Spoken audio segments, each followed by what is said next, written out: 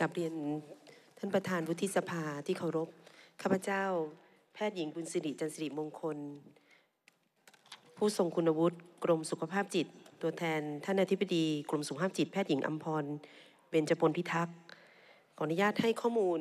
สถานการณ์ สุขภาพจิต ผู้สูงอายุเพื่อให้สอดคล้องกับรายงานนะคะ ที่ท่านประธานได้กล่าวถึง ความชุกของผู้สูงอายุไทยนะคะ ตอนนี้อยู่ที่ ประชาชนทั่วไปเนี่ยถ้าเป็นประประชาชนผู้สูงอายุกว่า 10 กว่าล้านคนนี้อยู่ที่ 12.8 นะคะ แต่สิ่งที่เราสนใจคือกลุ่ม intermediate care หรือ long term care เนี่ยเขาเรียกกลุ่มเปราะบาง ซึ่งส่วนใหญ่ก็จะอยู่ในบ้านพักคนชรา หรือเอ่อสพอสของพมหรือที่เรียกว่าชมรมผู้สูงอายุที่อยู่ตามพื้นที่หรือว่าบ้านบางแค คลินิกเรื้อรัง หรือสถานสงเคราะห์ต่างๆเนี่ย จะเกิน 12.8 อยู่ที่ราว 14 ถึง 25เปอร์เซ็นต์นะคะ ทั้งนี้เนี่ยในส่วนของกลุ่มติดบ้านติดเตียง จะเป็นกลุ่มที่เข้าถึงบริการที่เราคาดว่าน่าจะมีเปอร์เซ็นต์มากกว่านี้นะคะ แต่ปัจจุบันเนี่ยอยู่ที่ร้อยละ 6.52 ทั้งนี้เนี่ยกลุ่มที่เราคิดว่าในกลุ่ม long term care กับ intermediate care ที่มีความน่าหนักใจในการดูแลในอนาคตคือกลุ่มสมองเสื่อม ราะว่าสมองเสื่อมในประชาชนไทย ถ้าเทียบกับต่างชาติก็น่าจะไม่ต่างกัน ปัจจุบันนี้อยู่ที่ประมาณ 2-10%ซึ่งใน 2-10%เนี่ยอย่างร้อยคนหรือ 10 คนเป็นเนี่ยก็ประมาณ 90%จะมีปัญหาสุขภาพจิต เช่นเดินไปเดินมา ไม่หลับไม่นอนนะคะทำอะไรซ้ำๆต่อเลยค่ะคราวนี้ข้อมูลสิ่งที่เรากังวลอีกอย่างหนึ่งที่เรา implement ไปในปีนี้ หรือทำการปูพรมไปก็คือสถานการณ์การทำร้ายตัวเองของผู้สูงอายุไทย นะคะ เนื่องมาจากว่าเราพบว่าภาวะซึมเศร้าอาจจะไม่ได้สัมพันธ์กับภาวะการทำร้ายตัวเองหรือฆ่าตัวตาย ตอนนี้อยู่ที่ประมาณ 5.72 ก็ยังไม่เกินต่อแสนประชากรนะคะ ยังไม่ได้มากกว่าวัยอื่น ๆ แต่ว่ามีแนวโน้มสูงขึ้น ส่วนใหญ่จะเป็นพฤติกรรมผูกคอนะคะ ต่อเลยค่ะ กระทรวงสาธารณสุขจึงทำการบูรณาการนะคะเข้าไปในนโยบายและทิศทางของกระทรวงสาธารณสุขตั้งแต่ปี 65 นะคะ โดยท่านประหลัด กระทรวงนะคะ ท่านโอภาสการกวินพงศ์ได้นำการยกระดับการดูแลผู้สูงอายุเข้าไปอยู่ในการบูรณาการของทุกกรมนะคะของกระทรวงสาธารณสุขและนอกกระทรวงสาธารณสุข เพื่อเป็นทิศทางในการดำเนินงานต่อเลยค่ะ อันนี้เป็น House Model ที่กระทรวงสาธารณสุขได้ทำนะคะ กล่องสีแดงเป็นส่วนที่กรมสุขภาพจิตเล็งเห็นปัญหาบูรณาการไปคำว่า 2Q Plus คือ 2 ข้อคำถามซึมเศร้าที่รู้จักกันทั่วประเทศนะคะ อยู่ในแอปพลิเคชัน Blue Book ตอนนี้คัดมาแล้ว 9 ล้านกว่าคนเกือบ10 ล้านคน แต่ plus นี้คือ plus หนึ่งข้อ มีความคิดฆ่าตัวตายหรือไม่นะคะ อันนี้ถามแล้วเนี่ยผู้สูงอายุได้มีการตอบคำถาม แล้วก็ทำให้เข้าถึงบริการมากขึ้นนะคะ6 เดือนผ่านมาเนี่ยช่วงสงกรานต์เราดูความสุขของผู้สูงอายุไทยในปี 66 ก็สูงกว่าขึ้นกว่าปี 65 และสุดท้ายเราก็มาดูการติดตั้งการดูแลกลุ่ม intermediate กับ long term care กลุ่มสมองเสื่อมนะคะในไตรมาสที่ 3 ซึ่งตอนนี้ก็ได้รับการคัดกรองทั่วประเทศแล้วนะคะกว่า 70 กว่าเปอร์เซ็นต์ สุดท้ายก็คือดูพลังใจของคนสูงอายุไทยก็เพิ่มสูงขึ้นต่อเลยค่ะ การดำเนินงานของกรมสุขภาพจิตก็อย่างที่เห็นนะคะ ก็คือปูพรมในส่วนของ universal selective แล้วก็ indicated ก็คือทั้งกลุ่มทั่วไปกลุ่มที่มองเห็นแล้วว่าจะมีกลุ่มเสี่ยงนั้นกรมสุขภาพจิตก็เข้าไปอยู่ดูแลร่วมกับพมนะคะ ตอนนี้บูรณาการในศูนย์การดูแลผู้สูงอายุทั่วประเทศของพมจะมีการติดตั้ง 2 คิวพัด เข้าไปหมดแล้วนะคะ เมื่อเช้าก็เพิ่งทำการสรุปงานกับพมไป แล้วก็สุดท้ายก็จะเข้าไปสู่ในส่วนต่างๆ ของอปทนะคะในการติดตั้งเรื่องของทำชมรมผู้สูงอายุสไลด์ถัดมาเป็นสไลด์สำคัญนะคะ ก็คือผลการดำเนินงาน พบว่า ในกลุ่มที่เราคัดแล้วเกือบ 9 ล้านคนเนี่ยได้ดูแลไปแล้วประมาณเกือบ 75.6%นะคะให้มีอาการดีขึ้นหลังจากที่มีภาวะซึมเศร้าหรือความคิดฆ่าตัวตาย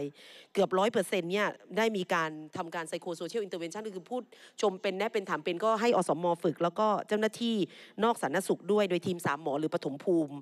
แล้วก็ความสุขคนไทยนะคะที่เพิ่มสูงขึ้น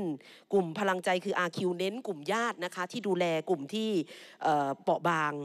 นะคะแล้วก็เรื่องภาวะ RQ ก็คือภาวะความเข้มแข็งทางใจที่ที่เราลิงก์กับเรื่องของเบิร์นเอาท์หรือภาวะหมดไฟ ตรงนี้เรากำลังจะเป็นส่วนสำคัญนะคะที่จะบูรณาการเข้าไปในระบบดูแลสุขภาพ สุดท้ายก็คือกลุ่มสมองเสื่อม ที่จะต้องติดตั้งเขาเรียกว่า elderly mental fitness นะคะนอกจากเรามีฟิตเนสทางกาย ต้องมีฟิตเนสทางสุขภาพจิต ที่ดูแลกลุ่มนี้ที่ทำให้สมองไม่เสื่อมมากจนเกินไปนะคะ หรือชะลอแล้วก็ทำให้สุขภาพจิตดีขึ้นต่อเลยค่ะ อันนี้เป็นผลนะคะที่สามารถดาวน์โหลดแอปพลิเคชัน Blue Book ของกรมอนามัย ร่วมกับกรมสบสนะคะที่ดูแลผ่าน smart อสม ตอนนี้เกือบ 10 ล้านคนตามเป้านะคะ ต่อเลยค่ะ ในแอปพลิเคชันต่างๆเนี่ยเราพบว่าจะมีภาวะซึมเศร้าเนี่ยน้อยกว่ากลุ่มที่ป่วย เนื่องมาจากกลุ่มที่ป่วยเนี่ยเข้ามาโรงพยาบาลบางทีก็อาจจะไม่ผ่านแอปพลิเคชันนะคะ ตรงนี้จะอยู่ที่ประมาณ 2%แต่ว่ากลุ่มที่เข้าถึงบริการแล้วเนี่ยก็จะ มีกลุ่มที่ซึมเศร้าเนี่ยมากกว่ากลุ่ม 2 คิว หรือว่ากลุ่มคัดกรองต่างๆ ซึ่งก็เป็นไปตามสถิติทั่วโลกนะคะเหมือนกัน อย่างไรก็ตามทีเราก็ต้องติดตั้งการดูแล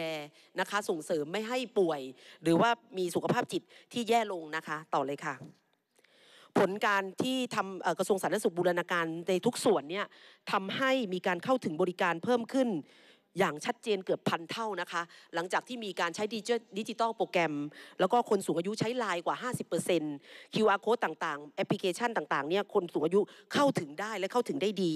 ทำให้การดูแลเนี่ยได้มากขึ้นนะคะ ชัดเจนอย่างเป็นรูปธรรมตามสไลด์ที่เห็นนะคะ ต่อเลยค่ะ อันนี้เป็นข้อมูลความสุขคนไทยนะคะที่สูงขึ้นต่อเลยค่ะ พลังใจของผู้สูงอายุนะคะ เราพบว่าถึงจะมีความสุขเยอะขึ้นกว่าปีก่อน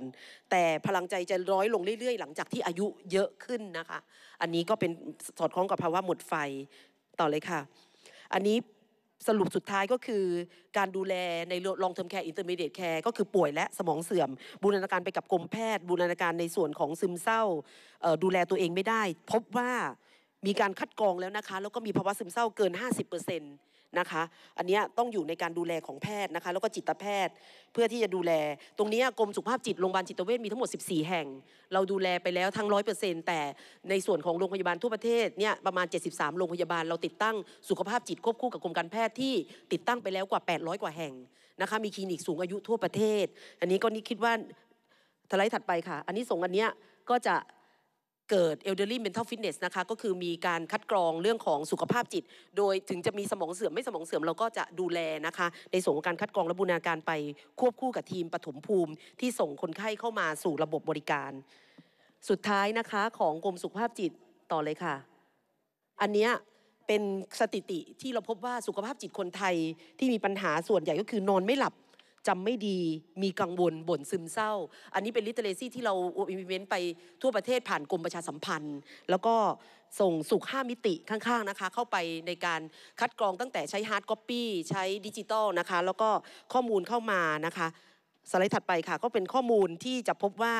คนไทยเนี่ยรู้ว่าตัวเองไม่มีความสุข รู้ว่าจะต้องหาทางออกตรงไหนนะคะ คนสูงอายุเนี่ยเกือบ 50%มีความรู้ที่ดีนะคะ แต่ว่าพอมาดูเรื่องของการรู้เท่าทันอารมณ์ตัวเองสไลด์ถัดมานะคะ ก็พบว่า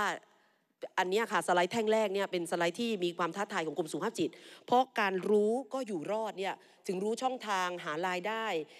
เข้าไลน์โทรหาคุณหมอไปรอคุณหมอตั้งแต่ตีสองแต่ก็พบว่า คนสูงอายุก็อาจจะยังไม่ทันได้รู้ว่าตัวเองขาดสติหรือว่าซึมเศร้า หรือว่ารู้เท่าทันอารมณ์ตัวเองว่าจะต้องจัดการอย่างไร เราพบว่าหนึ่งในห้าเนี่ยไม่เคยสำรวจอารมณ์ตัวเองเลยนะคะแล้วก็หนึ่งในห้าเนี่ยพบว่าไม่ทราบว่าสัญญาณป่วยสุขภาพจิตที่มีกับตัวเองเนี่ยคืออะไรนะคะ อันนี้ก็เป็นหนทางที่เราจะต้องเพิ่มมีเดียในเรื่องของโทรทัศน์ ซึ่งเป็นสิ่งที่ผู้สูงอายุเสพมากที่สุดโซเชียลมีเดีย นะคะก็คือ Line แอปพลิเคชันนะคะสุดท้ายก็คือหมอพยาบาลอสม หรือ 3 หมอหรือปฐมภูมิที่กระทรวงสาธารณสุขจะ implement นะคะ สุดท้ายนะคะสไลด์นี้ก็คือจะเป็นการยืนยันของกรมสุขภาพจิตร่วมกับกระทรวงสาธารณสุขและทุก ๆ กรมร่วมกันตั้งแต่ปี 66 ถึง 67 ถึง 70 นะคะ มุ่งหน้าเข้าสู่ทิศทางของการบูรณาการทั้งส่งเสริมป้องกันนะคะ ตอนนี้เราบูรณาการชี้เป้าร่วมกับพมกับอปทนะคะ แล้วก็สถานบริบาลหลายส่วน ร่วมกับกรมอนามัยสบสแล้วก็กรมการแพทย์นะคะ แล้วก็การบำบัดเนี่ยมุ่งเน้น 3D นะคะ dementia delirium ก็คือภาวะสับสนนะคะ แล้วก็ dislocate พวกกลุ่มที่ พลัดตกหกล้มนะคะต่างๆเนี่ยเราก็จะดูแลสุขภาพจิตไปร่วมกัน การบูรณาการก็จะต้องเป็นอย่างที่ท่านประธานบอกนะคะ ก็คือการที่จะคำว่า intermediate care คืออยู่บ้านก็ยังอยู่ไม่ไหว อยู่ออกจากโรงพยาบาลก็ยังอยู่ไม่ได้ จะฝึกทีมหมอครอบครัวหรือทีม Family Care ทีมอย่างไรให้รู้ในส่วนนี้นะคะ แล้วก็สุดท้ายก็คือประคับประคองเพื่อที่จะถึงในส่วนของการดูแลระยะสุดท้ายต่อไปนะคะ ขอบคุณค่ะ